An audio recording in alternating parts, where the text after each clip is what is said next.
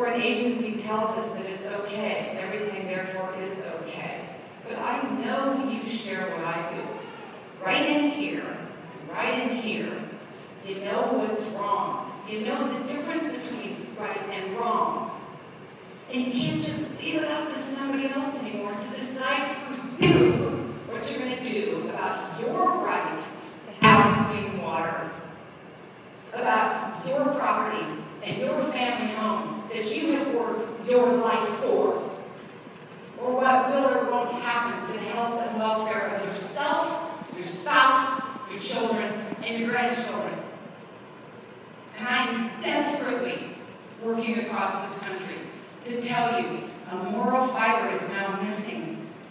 And what will bring that back is you and you and you and you and you and me together. To tell whoever those powers may be, agencies and industry, I'm tired of it.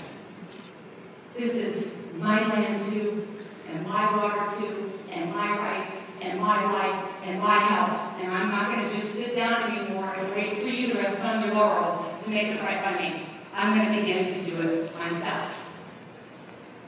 And it will start right here with you.